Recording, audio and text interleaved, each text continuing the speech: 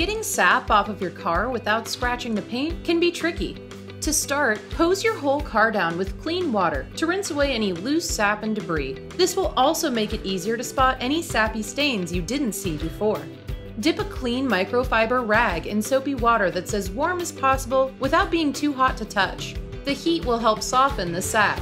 Scrub the stains with the cloth and rinse as you go to immediately wash away any loose sap. While this technique shouldn't damage the paint on your car, it might strip away some of the protective wax coating.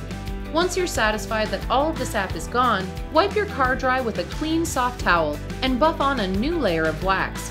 If you still see some stubborn sap stains after cleaning your car, don't wax it just yet. Follow up your soap and water wash with a commercial tree sap remover. After you're done, rewash the car with soap and water and apply a new coat of wax.